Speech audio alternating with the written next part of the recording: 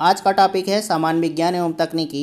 तो आज का पहला प्रश्न आपके सामने है स्टार्च को जल अपघटन से ग्लूकोज बनाने वाला एंजाइम कौन सा है? तो ये है, इसका सही उत्तर है एमाइलेज स्टार्च एक बहुलक कार्बोहाइड्रेट है, जिसमें ग्लाइकोसिडिक बंधों से जुड़ी कई ग्लूकोज इकाइयाँ होती हैं। यह पॉलीसैकराइड ऊर्जा भंडारण के लिए अधिकांश हरे पौधों द्वारा निर्मित होता है। दुनिया भर में यह मानव आहार में सबसे आम कार्बोहाइड्रेट है। और गेहूँ, आलू मक्का चावल और कसावा जैसे प्रमुख खाद्य पदार्थों में बड़ी मात्रा में पाया जाता है।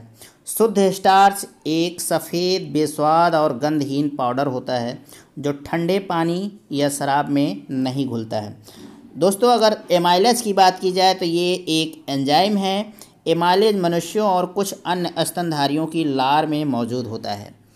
तो चलिए अगला प्रश्न देखते हैं। इंदिरा गांधी परमाणु अनुसंधान केंद्र कहाँ स्थित है? तो ये बेंगलुरु में स्थित है। अगला प्रश्न, आराम से बैठा व्यक्ति प्रति मिनट कितनी बार सांस लेता है? तो इसका सही उत्तर है, प्रति मिनट 12 से 20 बार लेता है सांस को। अगला प्रश्न, मूत्र का रंग किस कारण से पीला होता है? तो इसका सही उत्तर है, पिगमेंट यूरोक्रोम।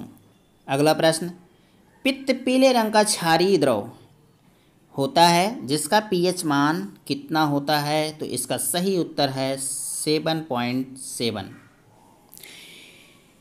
अगर पित्त की बात करें तो ये एक तरल पदार्थ जो शरीर के अंतर्गत यकृत में बनता है, इसके रंग में नीलापन या पीला और स्वाद कड़वा होता है, जो भोजन पाचन में सहायक होता है। इसका पीएच मान सेवन पॉइंट सेवन होता है पीएच का full form potential of hydrogen होता है।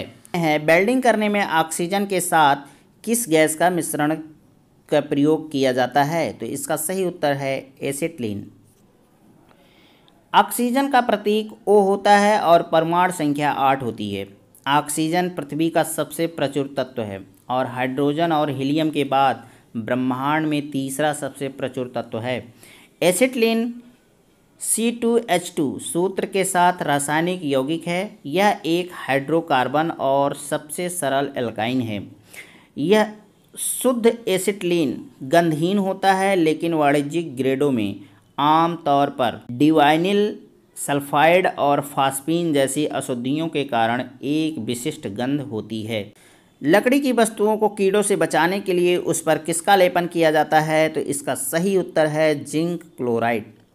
जिंक क्लोराइड एक अकार्बनिक यौगिक है, इसका रासायनिक सूत्र Z N C L two होता है। अगला प्रश्न, किस वैज्ञानिक ने 1718 ईस्वी में मशीन गन का आविष्कार किया था? तो इसका सही उत्तर है रिचर्ड गैटलिंग। रिचर्ड गैटलिंग एक अमेरिकी आविष्कारक थे, जिन्हें गैटलिन गन के आविष्कार के लिए जाना जाता है, जिसे पहली सफल मशीन गन माना जाता है। एलईडी का पूरा नाम क्या है? तो लाइट इमिटिंग डायोड होता है। आज का और अंतिम प्रश्न है, लेकिन आपको इससे पहले चैनल को सब्सक्राइब करना होगा, वीडियो को शेयर करना होगा और लाइक भी करना होगा। तो दोस्तों, देर मत करिए, ज़रूर कर दीजिए। और अगर आपको इसी तरीके के वीडियो रोज़ चाहिए तो सुबह छः बजे आप तैयार रहिए, आपको ये वीडियो मिलने वाले हैं। तो निश्चिंत होकर तैयारी करिए, मैं आपके साथ हूँ। आज का अंतिम प्रश्न आपके सामने है। किस वैज्ञानिक ने 1915 ईस्वी में अपने गुरुत्वाकर्षण संबंधी अपेक्षिता के सिद्धांत की घोषणा की थी? तो दोस्तों, इसका सही आंसर है आइंस्टीन।